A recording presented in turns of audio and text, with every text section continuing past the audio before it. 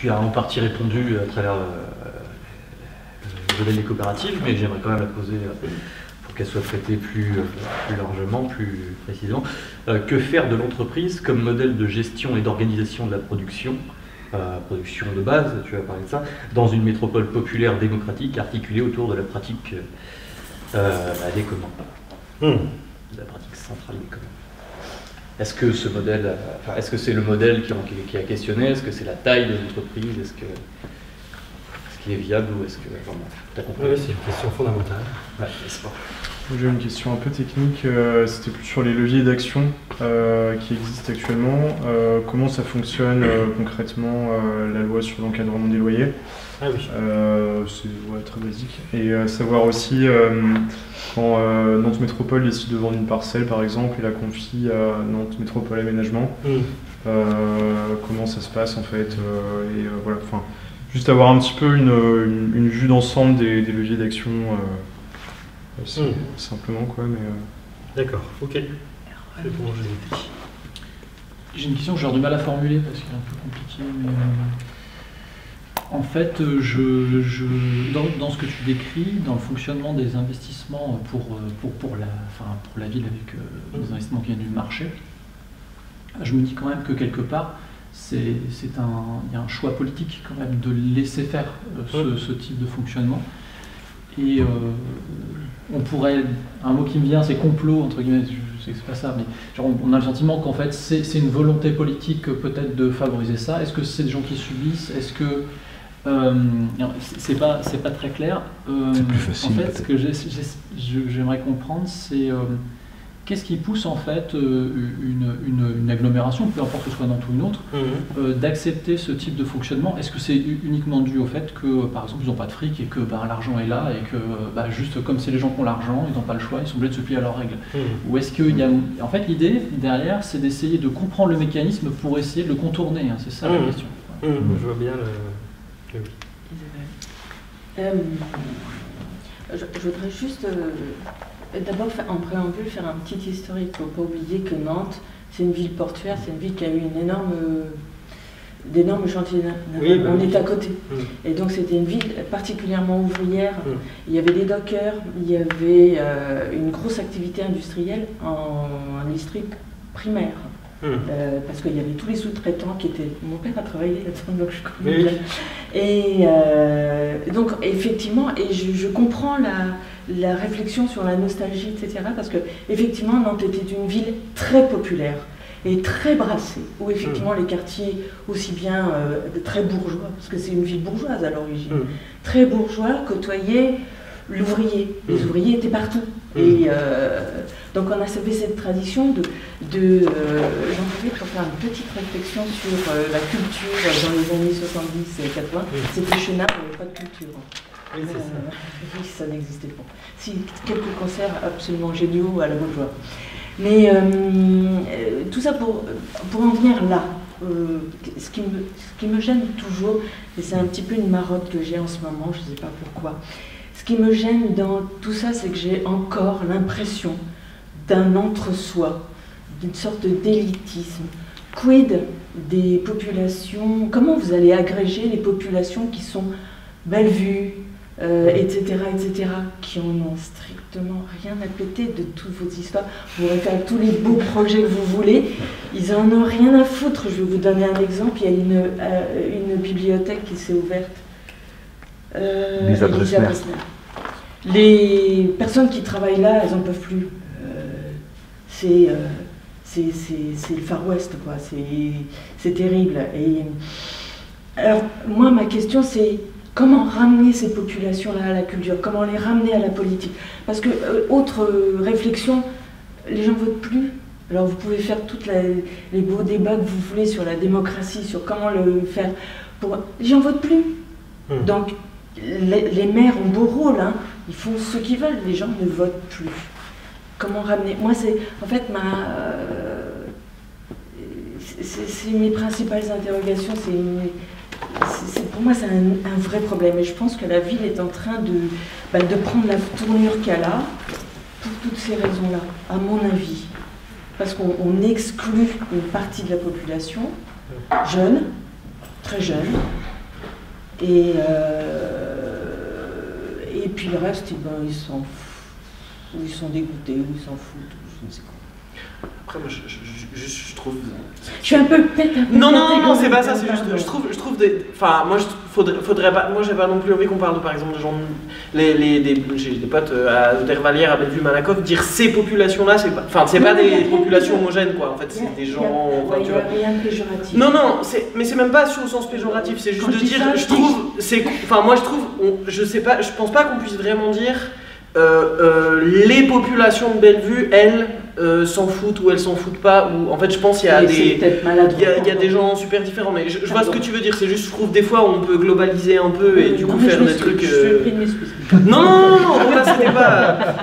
J'étais pas sur ce truc-là. C'est je pouvais être un peu sur le même truc de dire des fois on peut dire les Nantais et les pas Nantais. Ça fait des trucs un peu bizarres. Là, je trouve. C'est maladroit, je reconnais. non, c'est pas. voilà. Je n'ai pas fait avancer le schmilblick, hein, pardon. Oh, bah, Douglas.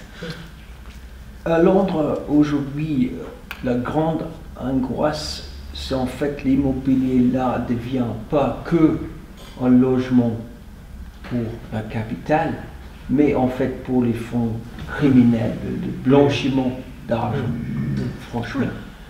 Et en fait, c'est parmi les, théories de complot euh, pour le raisonnement pour le Brexit, euh, croyez-vous que la loi par rapport euh, au registre cadastral en France euh, crée une, transparence suffisante pour critiquer le, patron existant et à l'avenir de, de, propriété, de, de, contrôle de terre et, et, hmm. et, bâtiments.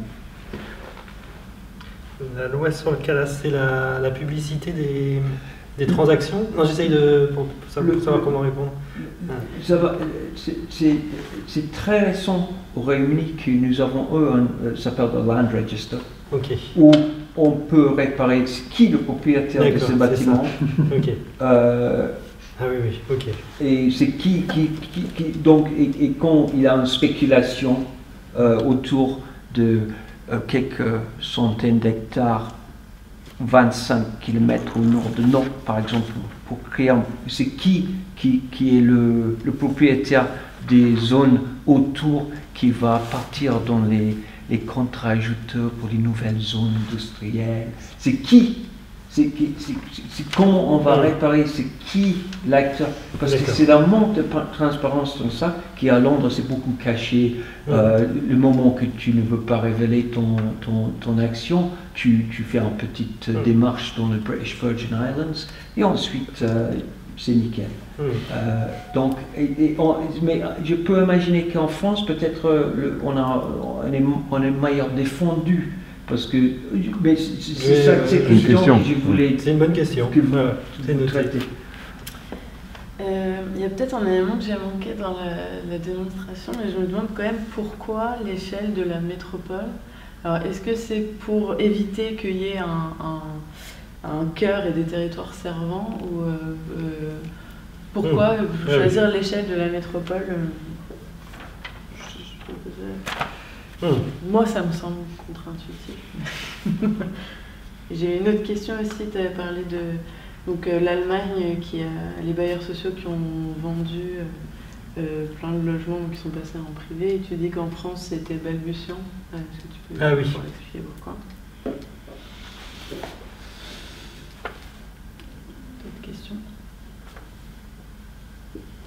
Mais moi, j'ai pas, j'ai pas vraiment super bien compris la, différence entre ce qui avait été, ce qui est présenté et tout dans le, dans le papier et, là sur la, question de la croissance urbaine par rapport à ce que tu disais en insistant là-dessus. Je veux savoir bah, du coup euh, sur quels sont les, éléments en fait euh, qui te semblent qui te semblent centraux dans cette croissance urbaine. Euh, bon, t'en, as dit une partie, mais aussi bah, peut-être quelles sont les alternatives en fait à cette croissance urbaine, c'est-à-dire quel est le voilà, là où tu situerais le point de bascule d'une ville en décroissance. Mmh. Et est-ce une obligation déjà, la croissance de la métropole en permanence. Pourquoi faire? Pour qui? Pour qui? Dans l'intérêt de qui?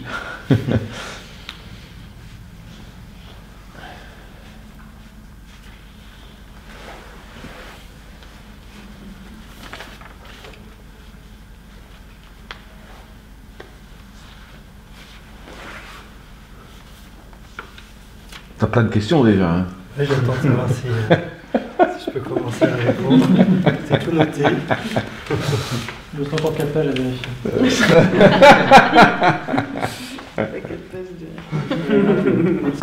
C'est filmé, hein Oui, mais. On ne sait jamais, il faut que le film soit pas, pas filmé.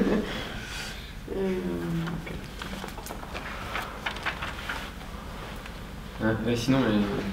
moi j'ai pas de questions. Mais euh, c'est ce que. Euh, bah, il y a des gens qui commencent à travailler aussi sur, dans d'autres axes sur les, questions des coopérations intercommunales. Euh, je n'ai pas encore vu trop ce qu'ils faisaient, mais à ton avis, bah, justement dans, dans l'idée de métropole populaire ou de grande ville populaire et des relations entre territoires, même leur, leur, une de leurs clés d'entrée, c'était de dire que ce n'est pas forcément le territoire de la métropole existante à Nantes, puisque peut-être qu'il y a... De Nantes Métropole, oui. de Nantes Métropole. Oui, oui, bah oui, forcément. Mais, mais, du coup, comment tu vois les relations en fait entre ces entre ces différentes communes de hmm. taille euh, complètement équivalente et qu'est-ce qu'on pourrait mettre en place aussi peut-être avec des, avec des partenaires privilégiés euh, par, exemple en termes de majorité politique ou de, ah, de, faculté à mettre des choses en place sans hmm. forcément euh, l'ensemble de la métropole. D'accord.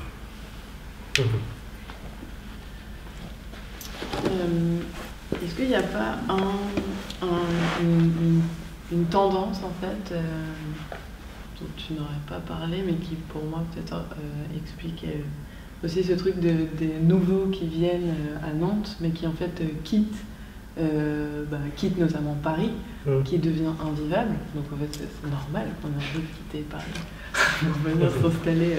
S'installer à Nantes. Non, mais quand on vit à Paris. et voilà, et, d'un phénomène du coup de des grosses métropoles euh, qui deviennent invivables et donc les gens vont vers des villes un peu plus petites, mais du coup, euh, c'est qui vont tendre, qui, grossissent, euh, et avec un autre phénomène qui est quand même qu'il y a, d'autres villes aux alentours qui décroissent énormément, et c'est le cas de Châteaubriand, c'est le cas d'Ancenis, et du coup là on arrive à un, donc, je, qui peut être interprété comme un rejet de l'autre, étant moi-même parisienne, ce serait, ce serait comique. Mais, euh, non, mais voilà, c'est qu'en fait, il y a une sorte de, de, de, tendance dont on est euh, des simples. Enfin, on n'est pas vraiment acteur, on est quasiment passif de ce système-là, de concentration des activités en des grands pôles et de déconcentration. T'aurais pu habiter en SNI. Hein. Ailleurs, pas. Il dit t'aurais pu aller habiter en SNI. C'est moins sexy, quoi. mais je suis victime aussi du marketing bah, c'est vrai, vrai, que t'as pas choisi Chateaubriand. Non plus. Euh, non, non mais je vois vraiment pas pourquoi. Ah, bah, oui. ah, voilà. non mais par exemple, il y a plein de Nantais maintenant qui vont à Redon, par exemple. C'est vrai. Pour habiter Redon, ah, ceux, qui peuvent plus habiter, ceux qui peuvent plus habiter Nantes, ouais. Parfois, ou alors ils, font, euh, ils reviennent une fois temps ah, bah, bien sûr. Parfois, ils partent On est d'accord. C'est 40-50. C'est l'effet du ruissellement. Ça. Hmm. Oui, c'est ça. Je suis pas d'accord en fait. Mais... Avec quoi? Ce n'est pas le fait de ruissellement. Mais non, mais je sais.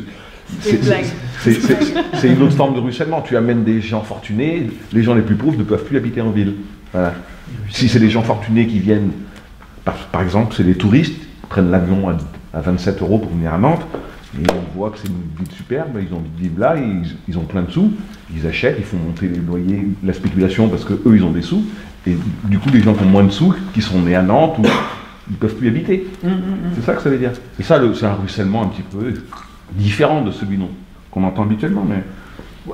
Et dernière, Désolé, mais c'est ma côté traducteur et, terminologiste que c'est en fait, je crois que c'est polluant en fait, pour, pour, pour parce que la théorie de ruissellement, c'est autre chose en fait. Oui, tu as raison. Mais, mais, c'est mieux pour trouver une terme, parce que je suis d'accord tu as raison. ton analyse de, du, du, tendance social, de, des flux de population, c'est au cœur de l'enjeu. J'aurais pas dû mettre de l'humour dedans. je me suis dit avec un anglais, ça va passer. Putain. pour moi, l'important, c'est en fait, a pas un bon terme, un bon terme pour cette flux dont nous avons parlé, qui est au cœur de l'enjeu, il faut, il faut trouver le bon, la bonne terme. Tu as raison.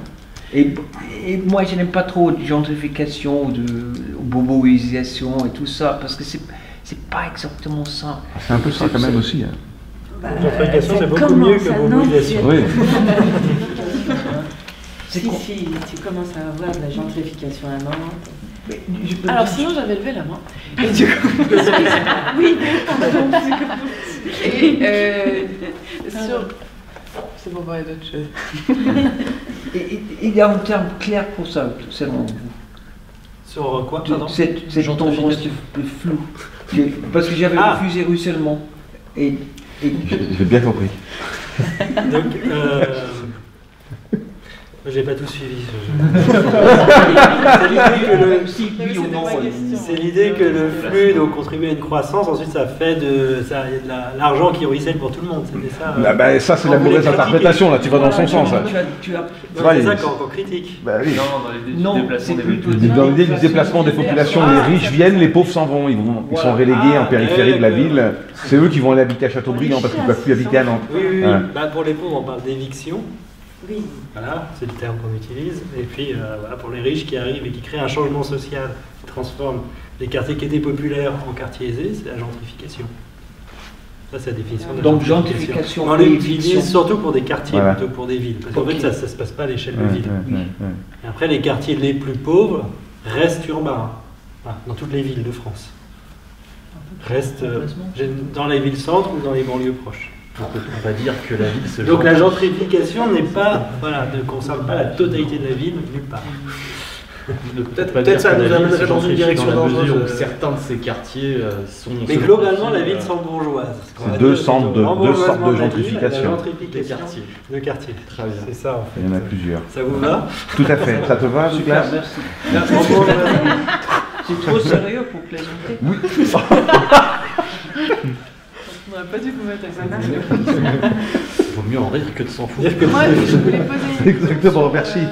des exemples inspirants de peut-être de villes qui ont réussi justement à sortir de cette attractivité et de faire autre chose. Bah non, c'est pas la politique, ça, c'est ça la guerre. Isabelle. Lève ton dos. Cela dit, cela dit, petite réflexion aussi, non C'est parmi les villes qui a le plus de logements sociaux. Donc il agit le plus pour euh, une sorte de mixité aussi. On peut intégrer ça aussi. Ah, mais, mais, Nantes, Nantes, euh, Nantes, la commune, hein. mais dans la métropole, On, a, on, a, aussi, euh, on a aussi La Chapelle-sur-Erdre, qui est la ville de France avec le moins de logements ah, sociaux. la ville de France, de France. Ah oui, y a, non, non, non, il y a, y, a, y a, La Chapelle-sur-Erdre et après il y a Neuilly. C'est assez chouette. C'est un peu. Euh, c'est ah, un ça, je, je savais pas. Il y a Saint-Herblain et pas loin. Enfin, du coup, dans la métropole, on a des trucs assez contrastés là-dessus. Saint-Herblain a quand même putain un bout de belle vue dans Saint-Herblain. Bah oui. Ouais, mais c'est une mais dans riche commune. Mais dans le reste de Saint-Herblain, il n'y en a pas. Très riche commune. Ouais, ok. Euh... Est-ce que c'est bon? Bah pour l'instant. Euh... T'as une dernière question Tu en avais plein. Ah, c'est une avalanche, c'est plus une tempête. Il faut lui laisser le temps de répondre parce qu'il est bavard quand même. Euh. Dit-il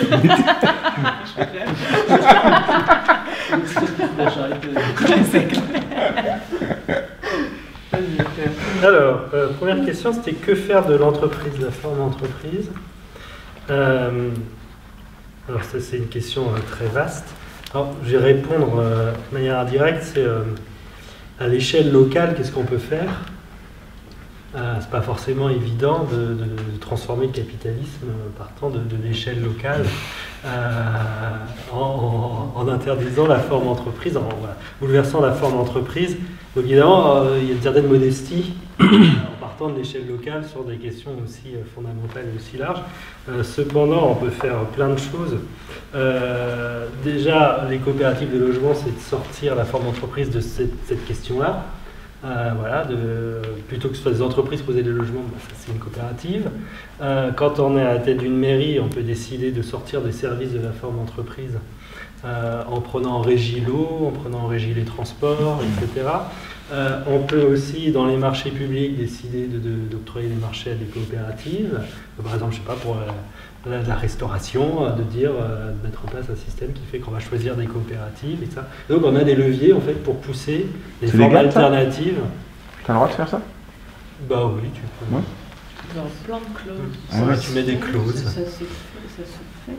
Euh, oui, oui, quand même, on peut. Oui, Par exemple, pour des statuts d'entreprise coopérative, je sais pas, des scopes, tu as, le droit, voilà, pour des scopes. Tu as le droit de faire ça on va regarder de près, mais voilà. Sur la démocratie bah, de l'entreprise, de avoir des trucs. Puis au pire, tu peux contourner parce que tu fais pour plein de ah. trucs, ils décident de faire des marchés publics, mm. mais tu peux faire une DSP par exemple, une délégation de service public, où là il n'y a pas de marché, il n'y a pas de machin. La DSP, tu dis bah c'est machin qui s'occupe de ça, et puis voilà, puis ça c'est fait quoi. Voilà, faut regarder dans le détail. Juridique. Tu peux, euh, ils peuvent juridiquement. Après, tu n'es pas obligé de prendre toujours le moins disant au niveau du prix, tu peux mettre des, critères qualitatifs qui vont faire que tu vas te tourner vers des scopes. Hmm. voilà. Hmm. Euh, donc, euh, donc euh, oui, il y a des leviers localement pour, pour créer des alternatives à la forme entreprise dans différents domaines et contribuer du coup à, à l'enracinement d'économie sociale et solidaire, à des alternatives concrètes.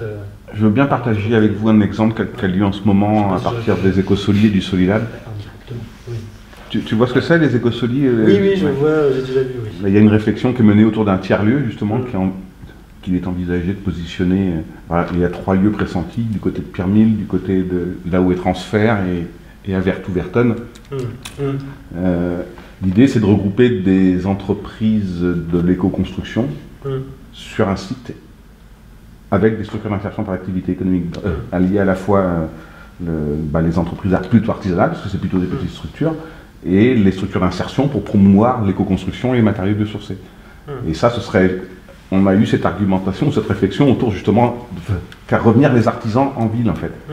C'est cette partie de l'argumentation qu'on développe mmh. autour de ce projet-là.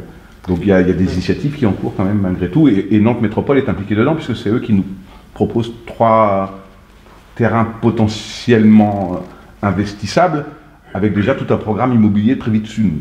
Cependant, euh, donc ça veut dire que c'est une confrontation qu'il va falloir y avoir, mais ils sont a, priori prêts à l'échange. D'accord. Donc c'est intéressant quand même. Euh, et euh, alors, je vais rajouter quelque chose. Bah, après, euh, je pense qu'il faut favoriser les alternatives à la forme d'entreprise. Mm. Après, parallèlement, il y a un autre objectif politique, c'est la diversité des types d'activités économiques. Et donc aussi de faire de la place à des, à des PME, à différents types d'entreprises qui vont garder une structure capitaliste, qui ont vocation pour l'instant, hein, à, être présente parce que est-ce qu'elles répondent à des parce euh, parce à des, besoins, elles offrent des emplois nécessaires, etc. Euh, donc en cela, euh, je pense pas qu'à voilà, dans la perspective d'une d'un gouvernement local, on va interdire tout type d'entreprise à avoir vocation dans une ville. en tout cas, c'est pas, pas, pas l'option que je défendrai, mais je mettrai en place un certain nombre de leviers pour qu'il y ait des alternatives à ces entreprises-là. Je pense qu'il y a aussi la possibilité de faire sortir du marché un certain nombre de choses en proposant une alternative, euh, euh, faut en parler un petit peu tout à l'heure, une alternative publique, euh, pas forcément sous forme de coopérative, mais je sais pas si on veut, on peut, je sais pas, peut-être faire un peu renaître une sorte de crédit municipal pour faire un peu concurrence aux banques, par exemple. Enfin, il y a plein, il y a plein de trucs qui pourraient être mis en place. Enfin, ça peut être sur la restauration, ça peut être, enfin Enfin, il y a toute une offre de service en fait que euh, le public peut décider de mettre en place. Euh, et du coup, là, on vient euh, marcher sur les plates-bandes du, privé, quoi. Mais je pense que c'est légal. Enfin, je. Mmh, oui, bah oui, les crédits municipaux, c'est légal. Hein. Ouais, ouais. Ça, ou ça peut être d'autres choses. Enfin, je crois qu'il y avait des bars municipaux il y a, il y a mmh. quelques, quelques dizaines d'années dans certaines villes, quoi. Donc ça peut être carrément des. ça peut être des trucs comme ça. je sais pas, des laveries. Mmh.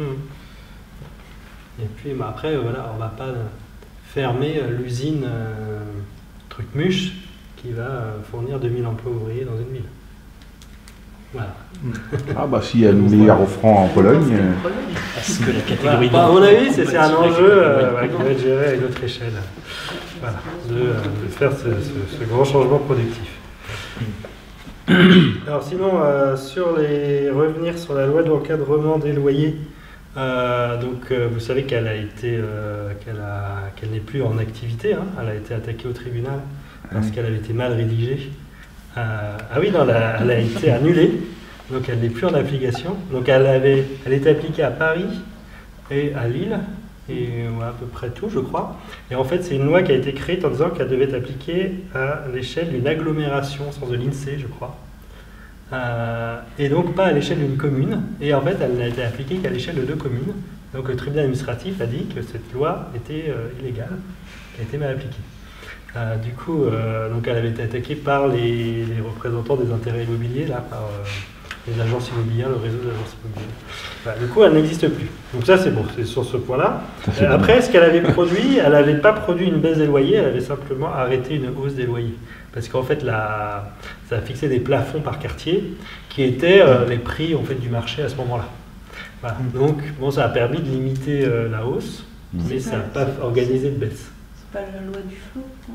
Euh, C'était sous du feu. Oui, c'est ça. du la coup, loi dans Elan, Voilà, dans la loi Elan. Voilà, c'est ça.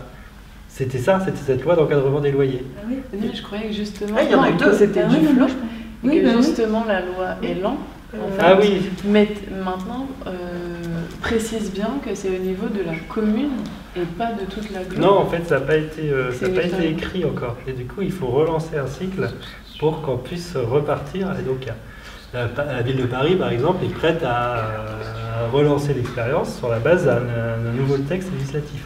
Et le texte qui est sorti, ah oui, euh, je- en fait, oui, c'est ça, c'était sous c'était la loi Elan. Et d'abord la loi du flot. Oui, Oui, mais la loi du flou, elle n'a pas été, il n'y a pas eu de décret d'application, je crois. Donc, elle a été remplacée par la loi Elan. Parce que du flou est parti assez vite, à un moment donné, au ministère. Voilà. Il me semble que c'est ça. Bon, on pourrait vérifier l'histoire. Ah oui, Mais en tout cas, elle n'est plus en application. Oui, et, elle euh, été- je croyais qu'elle était hmm. mise en application justement. Non, non, elle n'y est plus. Ça, je suis sûr. Voilà. Ça s'est arrêté. Donc voilà, après la critique qu'on peut faire cette loi-là, c'est que ça n'organisait pas du tout de baisse, ça a plafonné, ça a limité juste la hausse. Ah, voilà, donc on les voyait qui étaient déjà euh, très élevés. hum, hum, hum. Euh, donc ça ne changeait pas euh, fondamentalement. Après, tu m'as demandé aussi de reprendre, revenir sur les mécanismes quand on aménage un quartier, comment ça se passe?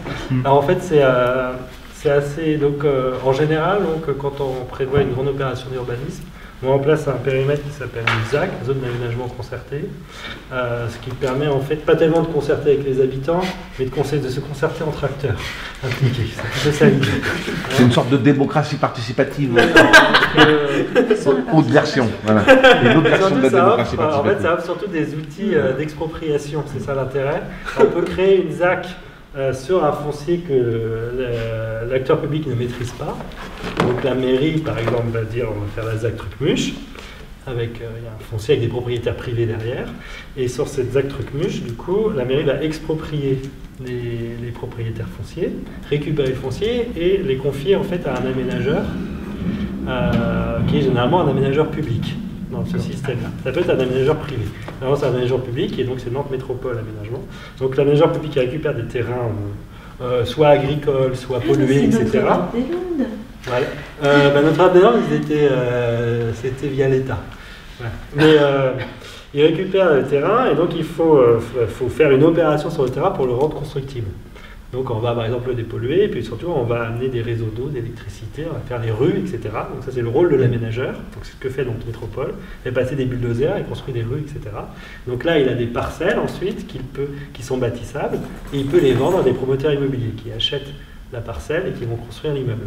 Ensuite l'immeuble va être vendu à un investisseur. C'est ça le cheminement. D'accord. Et à l'étape où ils achètent des parcelles, comment ils déterminent le prix de la parcelle? Et bien, en fait l'aménageur, Enfin, il- qui fait le boulot En fait, c'est très simple. Le prix de l'aménageur, il va, il va calculer combien ça lui coûte d'équiper le terrain. Et ensuite, il va le vendre. Et quand c'est un aménageur public, il ne va pas se faire de, de plus-value. Donc, il va voilà, répercuter un coût. euh, qui est son coût d'équipement. Alors après, c'est un peu plus compliqué.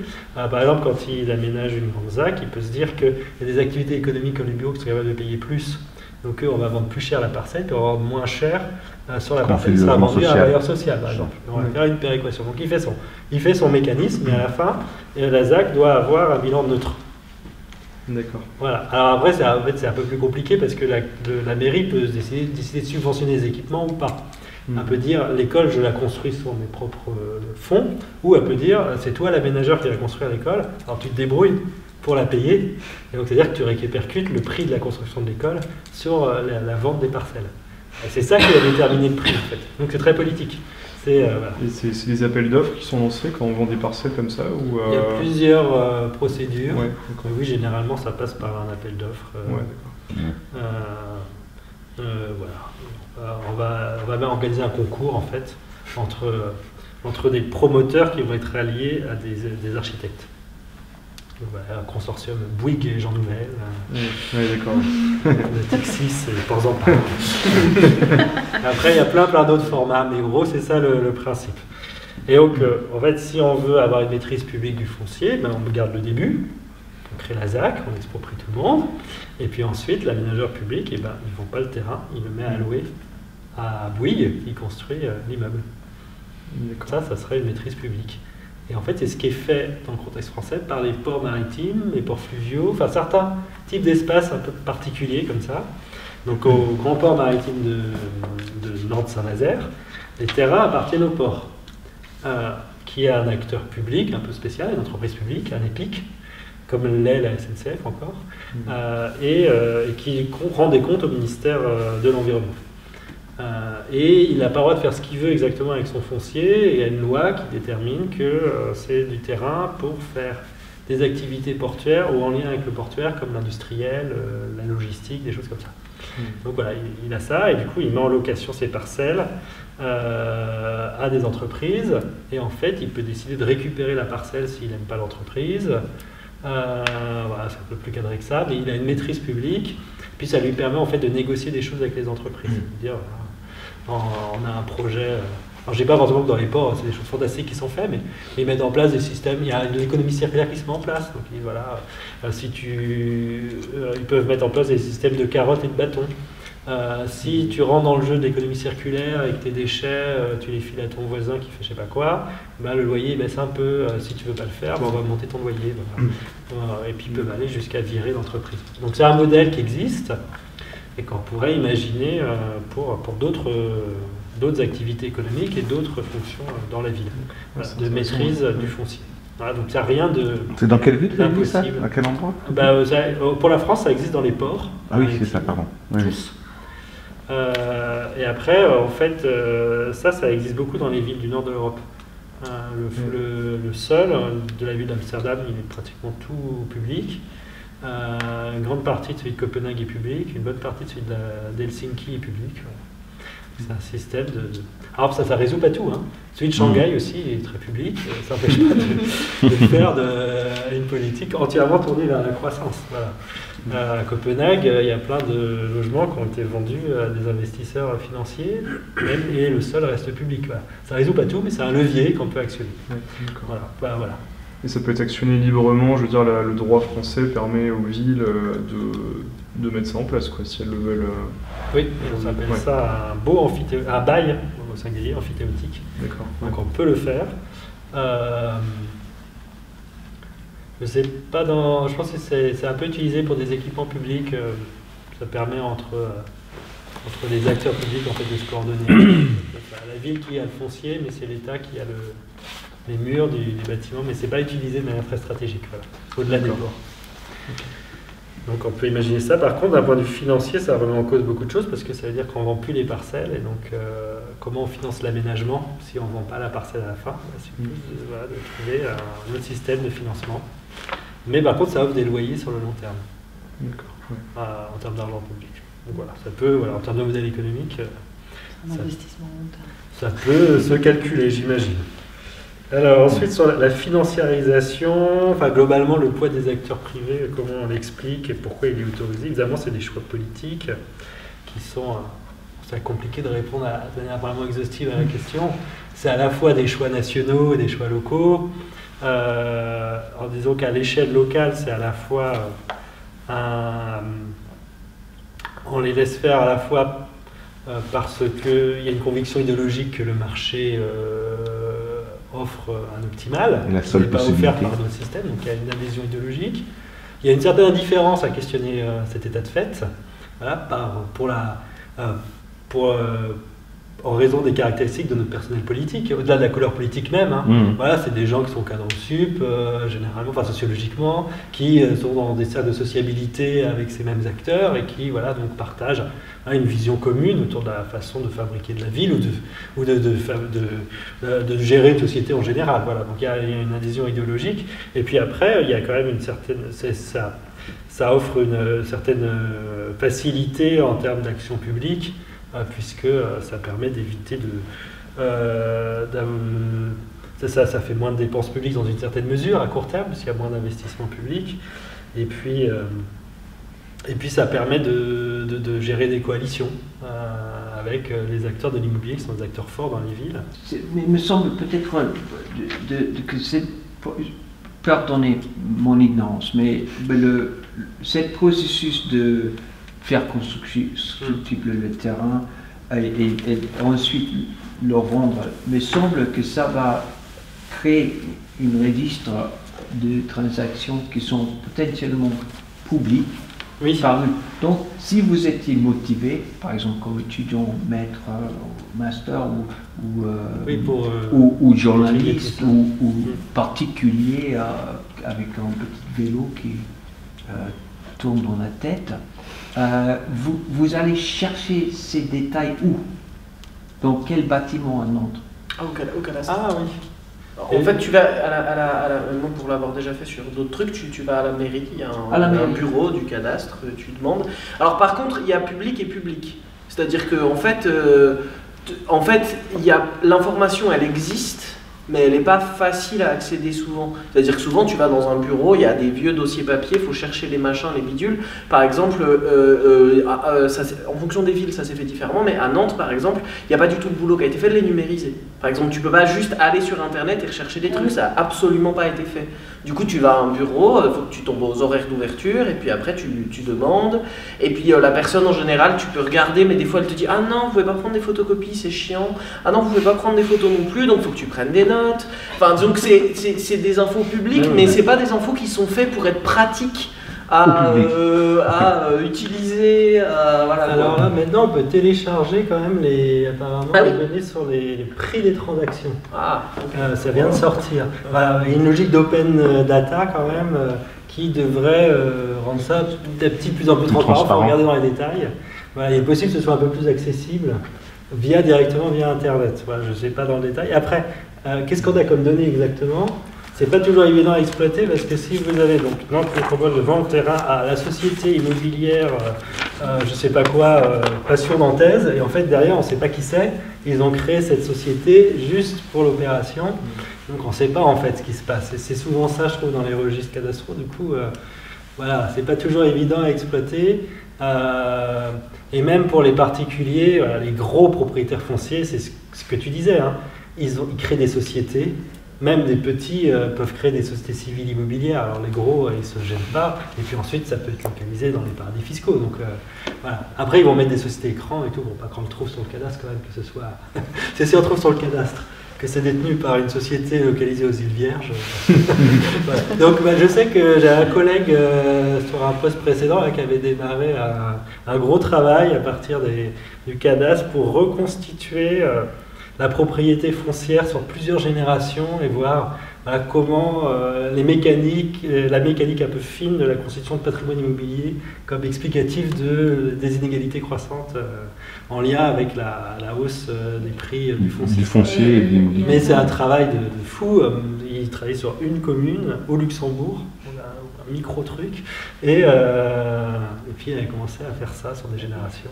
Et attends, une idée du patrimoine détenu par l'évêché, par exemple, de Nantes euh, je sais pas. Peut-être que des historiens l'ont peut-être euh, peut regardé. C'est énorme. Oui, par l'évêché. Je sais qu'en Angleterre, la couronne d'Angleterre possède une fait, très très grande partie du pays. aujourd'hui. Il faut faire un travail archival en fait pour connaître ah la vérité qui sera énormément consommatrice de, de ressources, mm. Mm. d'attention d'un être humain assez capable en fait. C'est ça, ça c'est la réalité. Oui, c'est vraiment un travail de, de fou furieux. hein. Euh, Ok, merci. Mais euh, ça peut être. euh, Il y a certains euh, silences. Certains silences. Après, euh, peut-être sur. euh, Mais pour, en tout cas, pour avoir de l'expérience avec des gens qui ont fait ça, euh, même si tu veux arriver au cadastre et commencer à dire euh, je veux tous les registres de tout ce quartier-là pendant une certaine période, ils te les donneront pas. Il faut que tu justifies être chercheur, être machin, être bidule. Si tu arrives juste en tant que personne, ils te diront mais pourquoi vous voulez faire ça? Et puis après ils vont commencer à te poser des questions, puis tu as intérêt à avoir soit ta carte de presse, soit ta justification de chercheur machin, parce que sinon euh, la personne elle va juste te dire euh, bah on- non quoi. Donc c'est pas public? Bah c'est c'est c'est C'est bizarre, je, enfin, je suis pas sûr que légalement ce soit normal, quoi, tu vois, c'est... Ouais, mais après, t'es parti pour attaquer au tribunal administratif. Pour... Enfin, par exemple, moi, je connais des gens qui l'ont fait sur des trucs et ils sont. Voilà. Oui, si t'as envie après d'aller attaquer au tribunal administratif. Oui, non, mais c'est pas une faut- question de- d'avoir envie d'attaquer ou pas, mais c'est juste que c'est pas normal que ce soit... Je pense que c'est illégal de refuser. euh, Ouais, Bah ouais, mais je pense. Bon, euh, On a aller tous. L'un après l'autre, chacun son tour. Ouais. Là, ça pourrait être une enquête. il Tout faudrait, après un euh, travail de, publication, Bah de, de diffusion. Mm. Donc il n'y a pas de loi de, de, de droit à l'accès à l'information publique en France. Bah si. Si, si, euh, si. Mais Si, si, mais si. en réalité, Ah, mais elle, il y a- ah oui, elle, est- pas elle est grave. Ça Mais il n'y a, y euh, pas l'équivalent, par exemple, aux États-Unis du euh, Freedom of Information Voilà. Act, où tu peux euh, amener euh, en, en procès Ah oui, pour dire euh, je veux tel document, etc. Non, ça, ça n'existe pas. Il ça, ça, n'y a, pas- y a, pas cet, y a pas cet équivalent de. non. bon, Il n'y a pas Tu vas le. nous faire ça? Moi non, moi non. alors, Mais il faut attaquer là. hein. Ne me regardez pas. bah, si tu, tu fais. Margot, Tu fais des efforts quand même, Marco. Alors, sinon, il y avait- Il y avait la question de comment ramener les habitants des quartiers populaires à la culture et à la politique. Alors, Ouais, bah ça, Vous avez je voudrais commencer par dire que euh, les élus actuels sont très contents que ces gens-là euh, se soient exclus du système politique. Et ça fait partie, euh, pas forcément du. Ça fait partie des, c'est des éléments d'une stratégie électorale hein, qui, a été- qui n'est pas récente, mais il y a eu un choix euh, fait, euh, pour prendre le cas du PS et à Nantes notamment, parce que ça a été regardé, euh, il, y a, il y a un choix fait dans les années 90 d'arrêter de- d'essayer de politiser ces quartiers-là, et de faire campagne dans ces quartiers-là, et de se concentrer dans d'autres domaines, et aussi de se concentrer dans la construction de coalitions avec des acteurs privés privilégiés, notamment des promoteurs immobiliers, pour montrer une capacité à faire de la politique publique, notamment à faire l'île de Nantes et faire des gros projets comme ça, euh, plutôt que de- d'essayer de, mobiliser euh, les habitants des quartiers populaires. Voilà, C'est un choix stratégique qui a été fait. Et donc ils sont contents qu'ils ne votent pas. Et Parce quand que- tu dis ça a été étudié Mm. en oui, notamment Gilles Pinson, là, qui a... Gilles Pinson, oui. Ouais. En fait, dans son bouquin euh, Gouverner la ville par projet, il y a Nantes, entre autres. Mm. Il explique ça. Euh, voilà. Et donc, du coup, mais je pense que c'est pas perdu. Euh, on peut repolitiser ces quartiers-là. Euh, D'abord parce qu'il y a une demande en politique, on l'a vu sur certains mouvements sociaux. Euh, sur les Gilets jaunes, il y a plein de gens des quartiers populaires hein, qui se sont. alors, peut-être pas à Nantes, mais en région parisienne, plus que sur d'autres types de mouvements sociaux. Il y a eu des trucs autour de Nuit debout en banlieue. Voilà, donc il ne se passe pas rien de rien. Donc il y a une demande. Et puis je pense que euh, ça peut passer entre autres hein, par, euh, par de la repartir de, de radicalité très concrète, voilà, de, questions très concrètes, d'enjeux très concrets dans ces quartiers-là, et de rebâtir ensuite euh, une appétence pour, pour, pour, pour, la, politique à partir de, de questions bah, vraiment avec les habitants. euh, Ah oui, tu es obligé de repartir sur le voisinage. voilà, et repartir, Ça me fait notamment, souvent, ça, on peut repartir des questions de relations avec le bailleur social. Il y a plein de questions qui se Mm. posent, et puis ensuite, à partir de là, tirer le fil. Ouais. Pour, Il y a euh, des notions d'auto-réhabilitation Voilà. accompagnée qui œuvrent un peu dans ce sens. Mm. Enfin, c- L'objectif n'est pas politique, c'est plutôt d'améliorer le logement des gens. mais- contre-politique de la ville, puisque vous, vous évoquiez la politique de la ville. Il y a un peu de pendant, hein, il y a le pendant euh, plus euh, euh, de, que- de- développement euh, euh, communautaire, en fait. Donc, ça a été plutôt euh, la la ville des années 80, où on va on, va, on va employer des animateurs socioculturels, on va mettre en place des systèmes de suivi sur les questions d'insertion professionnelle, etc. ça peut aller jusqu'à du comité organizing, mais c'est pas, pas les acteurs publics qui vont mettre en place. et puis l'autre pendant qui a pris le dessus à partir de Borloo 2003, c'est on détruit des logements et on reconstruit en se disant que le problème ça vient du bâti et ça vient aussi de la typologie de logement. Il faut faire venir des classes moyennes dans ces quartiers-là en proposant du logement privé. voilà. Et, euh, mm. on pourrait imaginer une contre-politique de la ville qui reprend des éléments de community organizing, euh, qui repartent de, questions concrètes, de gestion euh, des logements tels qu'ils sont, des équipements qui sont déjà là, et comment on peut améliorer les choses, etc. Qu'est-ce qu'il faut demander? Et il n'y a pas de raison que ces gens-là ne se mobilisent pas sur ces questions-là. Bah, pour moi, ils sont pas. Voilà. on voit quand même sur certains domaines une, appétence tout à fait importante pour, pour la question politique. Mm. Bah, et la question culturelle, je pense, va plus ou moins de pair, mais je sais pas. Mais c'est pareil, il faut aussi. Euh, c'est des gens qui ont beaucoup de pratiques culturelles. Et les cultures populaires, quand même, elles sont plutôt imaginées là qu'ailleurs. Donc. Euh, voilà, ils font, ce sont des gens qui font de la culture. Après, il se passe des choses qui sont il y a quand même des, centres euh, socioculturels où c'est pas complètement nul, hein, où il y a des, choses qui sont proposées. Euh, on voit bien, bah, moi je trouve, quand on se balade dans des quartiers plutôt populaires, on voit bien comment certains espaces sont investis par les, habitants, notamment les, les plus jeunes, les ados, les jeunes adultes, qui notamment dansent énormément. Et, vont, euh, si on met en place des, lieux où il y a de la place pour danser, ils vont, ils vont, ils vont y danser. Il y a aussi des initiatives. Donc moi je trouve qu'il n'y a pas du tout, c'est pas une zone de non-culture. Je ne sais plus qui c'est qui a fait ça à Nantes, les, les, après, des projets, je ne sais pas quoi, dans les quartiers. après, c'est vrai que souvent, quand euh, il y a des émeutes, ils ont tendance à cramer euh, les médiathèques. Les bagnoles. Ah, entre autres, mais c'est vrai que bon, ils s'attaquent à des symboles. C'est pas forcément exactement les mêmes, hein, euh, les habitants, ils ne font pas tous la même chose dans ces quartiers-là. Mais bon, c'est des quartiers vivants où il se passe plein de choses. Et alors, euh, donc le cadastre on en a parlé. Alors pourquoi l'échelle de la métropole? Euh, bah, Simplement parce que, en fait, si on regarde quelles sont les pratiques des gens et à quelle échelle ça se passe, il y a plein d'échelles. Chacun a son échelle. Les gens pratiquent pas tous euh, on pas tous, tout le monde n'habite pas au même endroit, tout le monde travaille pas au même endroit, tout le monde n'a pas ses loisirs au même endroit. Mais globalement, quand même, ce qui ressort, c'est qu'il y a une échelle euh, qui concerne le plus de gens, qui est plutôt l'échelle de l'agglomération, voire de l'ère urbaine. Euh, donc, c'est-à-dire une échelle assez large. si on regarde que là où les gens habitent, là où ils travaillent, là où leurs enfants sont scolarisés, là où ils ont des loisirs, réguliers, moins réguliers, là où ils font leurs courses, etc.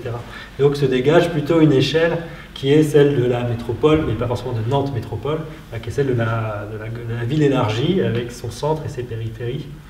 et simplement, euh, c'est pour ça que j'ai retenu cette échelle-là, parce qu'il me semble que c'est à cette échelle-là qu'une majorité d'enjeux se, se pose, même si euh, il n'y a pas une seule échelle pertinente. Toutes les mm, échelles ont leurs défauts, leurs avantages.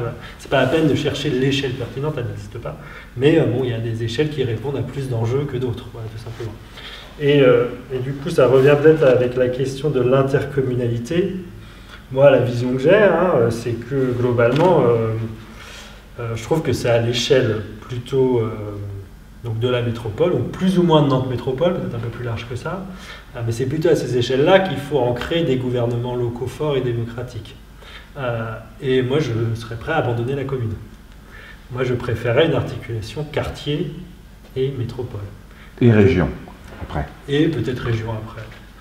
Voilà, pardon. Et, euh, parce que c'est à la fois l'échelle de pratique et c'est aussi une échelle à laquelle on va pouvoir réguler des enjeux forts de lutte contre l'étalement urbain, d'interdiction d'artificialisation des sols, de et du coup de sauvegarde euh, des espaces naturels et euh, d'organisation des solidarités territoriales entre les différents types d'espaces, plus ou moins riches, plus ou moins pauvres, euh, avec des plus ou moins d'entreprises. Voilà. Et, et, puis, à cette échelle-là, donc une échelle en fait de, densité humaine, hein, que les grands systèmes techniques sont organisés et qu'il faut gérer, de fait. Et donc je trouve que l'échelle métropolitaine permet de, de, de mettre dans un seul contenant beaucoup d'enjeux et de pouvoir mettre en place un système démocratique pour gérer ça, parce que le problème du... Si vous voulez, un autre un système concurrent bureaucratique, ça serait d'imaginer un type de, gouvernement par échelle pertinente. On peut déterminer une échelle pertinente par enjeu, si vous voulez. On pourrait imaginer un périmètre pour les transports, un périmètre pour gérer les déchets, un périmètre pour gérer les espaces naturels, etc. Puis à chaque fois, on mettrait une équipe de technocrates qui s'occuperait de cette échelle-là. Donc ça, c'est la manière la plus, je dirais, la plus intelligente au sens, euh, euh, au sens froid du terme de gérer technocratiquement un enjeu. Mais par contre, on ne peut pas organiser une démocratie à cette échelle-là. Parce que euh, on va pas multiplier les instances de, représentation, de débat, etc. à autant d'échelles. Les gens vont se perdre, ils en ont marre. Euh, Ah, et, et puis, et puis on ne peut pas non plus relier les enjeux parce qu'en fait les transports ils posent d'autres questions euh, qu'on retrouve dans d'autres systèmes, etc. Voilà, c'est pour ça qu'il me semble qu'il faut trouver une échelle de synthèse qu'on peut appeler métropole autrement. Le problème de métropole, c'est que c'est très chargé comme terme et que la métropole, c'est aussi la métropole du capital. Euh, clairement, puisque la métropole, c'est une autre- la question de la croissance. hein. C'est voilà, le type de ville, la grande ville, qui devient métropole en étant très attractive et en concentrant les richesses, les populations, euh, les flux, etc.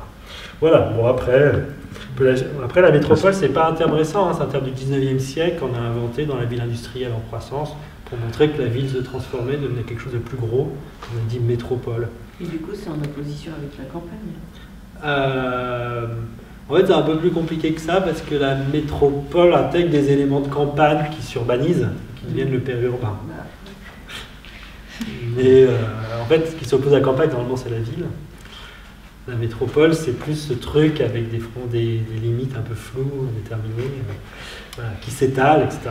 Justement, est-ce qu'on ne perdrait pas une notion d'identité par rapport à, à la, à la ville, même en Mais soi, sinon, qui garde moi, un je, on caractère pourrait peut-être l'appeler ville, mais euh, elle est plus grande Voilà. que la ville qu'on connaît aujourd'hui, qui est celle de la commune. Mm. Mais par contre, le terme de commune, il est beau. Oh, bah oui, Et, c'est euh, ça. on l'appelle commun, évidemment. Mais, On euh, est tous communistes. voilà. C'est ce qui, voilà. C'est, il me semble qu'il y a, voilà, il y a quand même, euh, on a quand même, par rapport à la vision de la démocratie, euh, je pense qu'on pourrait, euh, voilà, on peut se dire que la seule démocratie qui est envisageable, c'est une démocratie directe à toute petite unité. Euh, voilà, qui se défend tout à fait. Moi, je pense qu'on a aussi besoin d'autres instances de gouvernement et qu'on peut organiser des démocraties à des échelles plus larges. Et que euh, finalement, foncièrement, euh, on peut se passer de la commune dans le sens où, de toute façon, déjà à l'échelle de Nantes, 300 000 habitants, il n'y a pas de proximité. Je veux dire, qu'est-ce que ça change que cette démocratie-là soit organisée à l'échelle de 300 000 habitants ou à l'échelle de 800 000 habitants? Pour moi, je, voilà, le saut, il est déjà passé. Voilà, du coup, ça ne me gêne pas d'abandonner la commune dans ce Mm, cas-là. mm, mm. Voilà, c'est pour ça. C'est un peu c'est pragmatique, hein, puisque Ouais, mais ça, ça c'est valable pour des grandes communes, mais par exemple sur des plus petites communes de l'agglomération, c'est moins vrai. c'est moins vrai, mais parce Enfin, que euh, je me dis, euh, chez, chez nous, là, ça correspondrait à des villes comme Rosé ou quoi, qui ont quand même des. Il y a une vraie réalité. Voilà, 40 000 habitants, Non. je crois, Rosé. Mais est-ce que, est-ce qu'à 40 000 habitants, on a euh, cette proximité Je suis pas sûr. Moi, j'ai l'impression qu'on peut l'avoir à l'échelle du quartier. Rose existe parce qu'il y a Nantes. Et après, le problème, c'est que si, si tu gardes dans, dans une métropole plein de petites unités sans éléments de coordination, euh, en tout cas dans le monde tel qu'on est, elles seront en compétition et, euh, et ça, et ça défavorise, ça favorisera les plus riches, ça défavorisera les plus pauvres. C'est la façon dont les grandes villes américaines sont gouvernées. Par, euh, par des petits territoires en compétition. Voilà. euh, et du coup, les petits territoires qui ont une population pauvre doivent se débrouiller tout seuls avec les ressources qu'ils ont pour. euh, Offrir des services à la population. Voilà. Ben, en fait, si on ne met pas en place de la solidarité euh, financière entre les communes, c'est pour ça que je propose du coup des, de remplacer directement par, existe, un, nouvel, un nouveau gouvernement local qui, que je mets à l'échelle que je juge être celle des principaux enjeux. Voilà, ça étant discutable, bien Mm, sûr. mm, mm. Euh, Est-ce que tu as pris en compte dans ta réflexion là le, le côté démocratique, euh, l'importance du numéro, euh, d'un bar en le numéro d'un bar, le, le nombre de personnes qu'on peut rappeler dans sa tête, ah oui. qui est classiquement donné par 150 personnes. C'est. L'entourage qu'on peut croiser quotidiennement, c'est ça, ça Bah, pour moi, ça, ça va être plutôt l'échelle du quartier. Voilà, mais dès qu'on passe euh, ces nombres-là, de toute façon, on, on entre dans des systèmes euh, qui, euh, à partir du moment où il y a plusieurs dizaines de milliers de personnes, j'ai l'impression que alors, le saut de d'échelle est fait et ça ne, ça ne change pas la donne de passer à, à une ville de 1 million d'habitants euh, euh, qu'on pourrait voilà, organiser démocratiquement avec des systèmes représentatifs. Après, il faut que ce soit malin, que ce soit vraiment représentatif et surtout qu'il y ait des éléments de contre-pouvoir. Euh, avec des, des, je sais pas, des, des, assemblées qui peuvent être tirées au sort, des types de, de, de contre-pouvoir. Oui, ou des assemblées citoyennes à côté d'assemblées d'élus. Voilà, c'est ça que voilà, quand, quand, quand, on associe différentes formes d'intervention démocratique mm. à ces échelles-là. Après, voilà, j'ai l'impression qu'il faut quand même limiter le nombre de gouvernements, d'échelons, euh, si on veut qu'il y ait une euh, lisibilité minimale des débats publics. Bah, je reviens sur la ville de From, justement. Oui. 26 000 habitants. Et ils ont organisé euh, un concept démocratique où tout le monde participe et hmm. ça a l'air de vachement bien fonctionner. A priori. Non? Ah, je sais pas, non, non, c'est. En tout cas, il, doit avoir des bons communicants en Angleterre aussi. Hein. Non, mais je pense que l'organisation, euh, au départ, est fait que. Oui, oui, je pense. On peut peut-être le faire. Il faut associer. Oui, il faut associer. On peut peut-être le faire à une échelle plus large que ville de 20 000 Mais ce, que juste un, petit témoignage, euh, la commune de Los Angeles, ça me faisait penser en disant le truc à, à Grande-Sainte, je ne sais pas pourquoi, mais j'ai fait le parallèle avec Los Angeles. Le, maire, il s'appelle Jean-Pierre Caron, je crois, qui, qui racontait ça, euh, la désindustrialisation, hein, il y a 20 ans de ça, euh, la perte de 200 000 emplois, et puis du coup, la redécouverte des solidarités, des solidarités par les habitants, mm. qui ont commencé à créer des liens au niveau de l'entretien des communs, tu vois, qui les concernait tous, et puis ça, ça a découlé sur euh, bah, le, logement d'habitats sociaux avec des matériaux locaux, la, terre, l'argile, la paille, les matériaux biosourcés notamment. Hein, ça a développé ça, les démarches d'insertion qui vont autour. Et euh, bah, il y a, y a, euh, une, dynamique que je pourrais qualifier d'humaniste qui s'est redéveloppée à partir du moment où ils étaient confrontés à, de très dures conditions économiques. Mmh. Et, il était assez émerveillé, enfin, enfin bon, c'était de, justement de, la redécouverte de ces, solidarités sur les territoires à partir d'un fait un peu dramatique au départ. Mais est-ce qu'on ne pourrait pas aussi euh, prendre l'exemple de ce qui s'est passé et qui peut-être continue de se passer à Notre-Dame-des-Landes?